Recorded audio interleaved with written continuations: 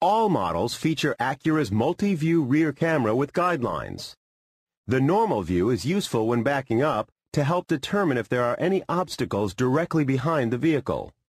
The wide view is best when trying to check for oncoming traffic, and the top-down view assists when parallel parking or trying to line up a trailer hitch.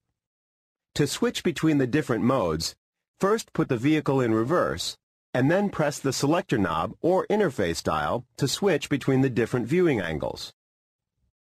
Guidelines help the driver when backing into spaces and are divided into four sections to help assist the driver with distance. Starting from the second line back, each section is approximately 3 feet in length, with the dotted line showing the minimum amount of clearance the tailgate needs to be open. While in reverse, the guidelines can be turned off by pressing and holding the Cancel button on technology package models. The guidelines will stay off until they are manually turned on again by the driver.